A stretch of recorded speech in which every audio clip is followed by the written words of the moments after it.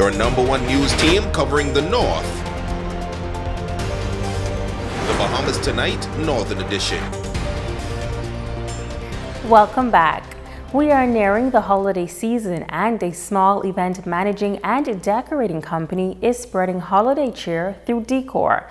Tonight we feature a man who has a passion for decoration and has been in the business for the past 10 years. Rumiko Knowles reports. As we approach the season to be jolly, CEO of Bow Magic Donovan Bow is ensuring that the global pandemic does not dampen the spirit of Christmas. As it relates to his business, he says that the COVID 19 has allowed him to pivot from large scale to smaller, intimate, boutique style events. Decorations can transform any space, it can take you to a different location visually it can take you to a different location emotionally. Colors evoke responses. So that's what we do with our decorations. We try to get persons to feel where it is that they're going. So particularly for Christmas season, everyone wants to feel joy. Everyone wants to be merry, bright, happy-go-lucky, that type of feeling. So that's, that's what we are aiming to eke out through our decor this year. His passion for decoration comes from his mother, godmother, and aunt, all of whom are deceased. He says they all worked in seasonal decor. Whether it was weddings, Valentine's, Christmas, Thanksgiving, and somehow they looped me in and got me involved. And it's basically a piece of my passion, something that they've left with me that I'm now building on to create a business venture. Bo also tells us the trend for this Christmas season. This year, we see the trend shifting back to the traditional red and green mixed with bold colors, vibrant colors. So red and green is the base and everyone's adding a, a pop of color. Um, I'll be focusing on the royal blue as a pop of color for this year with the red and green. Others are throwing in gold, uh, brighter mint green, lots of other turquoise, but red and green, we're sticking with that base. I think shifting to what we knew Christmas to be mm -hmm. after having to celebrate it so differently in the past. This 12 foot Christmas tree was decorated by Bo as a collaboration with the Home Fabric Store. He shares unique tips on how he designs and how he knows when it is complete. That's just it. I usually do a timer and it would go and go and go. So I'm known for trying to cover the tree with as much as possible, but knowing when you're done, it's something on the inside. Because done for you maybe not necessarily be done for me. The tree behind me, I think I could put at least 100 more pieces on, on it. But someone will be like, oh, that's done. Mm-hmm. So it's, it's, it's relative. Rumiko Knowles, ZNS Network News. A local security firm on the island announcing job opportunities for Grand Bahama residents. Strong Arm Security Company, one of the newest security firms on Grand Bahama, hosting a job fair recently. CEO Steve Wilson says their aim is to revolutionize security services on the island. Rather than you having to have two or three jobs, including a security job, just to make ends meet, I aim is to make security your only and main job that's going to suffice your household.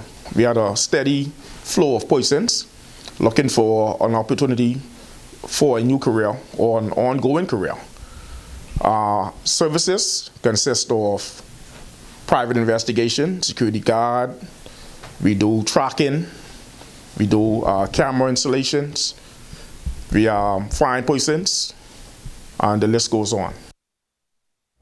Director at Strong Arm Security, Alejandra Thomas says they are looking to employ about 65 to 75 persons and they are encouraging persons to apply. We just want to encourage more persons to come out and take advantage of this opportunity. Um, right now, coming out of Dorian and even the pandemic, a lot of persons aren't hiring and this is an opportunity to get a lot of persons employed. So I think you guys should get up and come on out and apply. A lot of the positions that are on the flyer, persons have been asking, do you need to be qualified? No. Even if you are qualified, when you come in, the company will train you so you can work to our standards. So you don't have to be qualified or get intimidated when you see the flyer. Just come in and apply. And apply for as much positions as you possibly can. And another question persons been asking is, do we require everyone to be fully vaccinated? We would like you to be, but it's not mandatory by our company that you be vaccinated. So if you are not vaccinated still come out and apply. And now our Jay Philippe has a check on sports.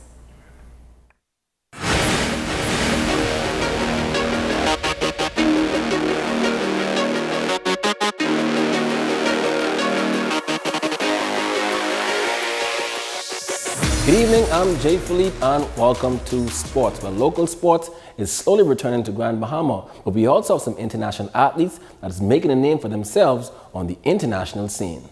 Chavez Fernander was drafted back in 2018 by the Detroit Tigers. This past season, he suited up for the Erie Seawolves in the Double A League, but recently, the right-hand pitcher was activated for the Salt River Rafters in Arizona. The season's going good so far, man. I'm just happy I'm here and playing against the best of the best competition. Your first rounders, second rounders, top picks, top prospects for each team here. So it's just exciting to be here and play against these guys. In his last appearance on the mound, Fernander pitched eight innings and gave up only one run. We have seven guys from each team, creates a team, and uh, all the prospects go together. So I'm just happy that I was thought about it, and my team picked me to go there and perform and play. Means a lot and shows that I'm going to step in the right direction.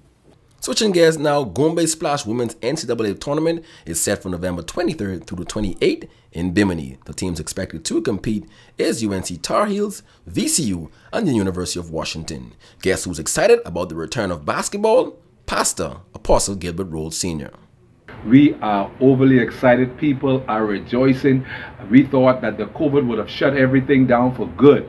But thanks be to God, you've given us that victory. We have been working diligently preparing the gymnasium, preparing the yard, preparing for the people to come in. We have been doing a lot of renovating and a lot of work to the gymnasium to ensure that everything will be in place, that when the teams come, that there don't be no hiccups.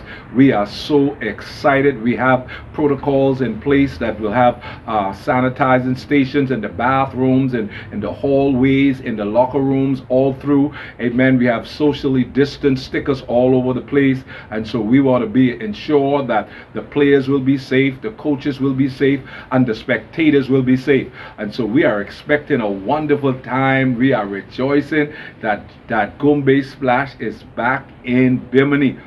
And finally in sports, Thursday night football tonight, Lamar Jackson and the Baltimore Ravens will take on the Miami Dolphins in Miami Gardens at the Hard Rock Stadium. And that's a quick check on sports. I'm Jay Philippe. Be blessed.